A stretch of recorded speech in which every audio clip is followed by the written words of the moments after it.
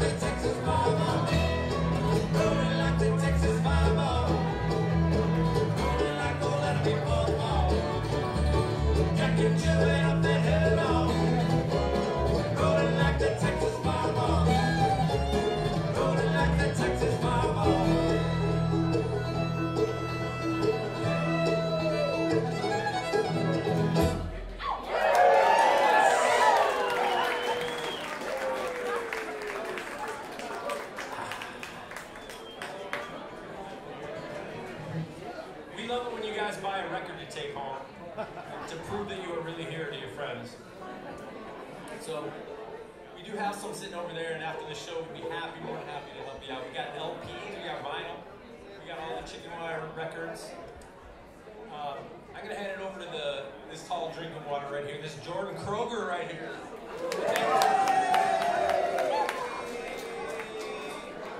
I'm gonna hand it over to this guy John Pike on the five string banjo.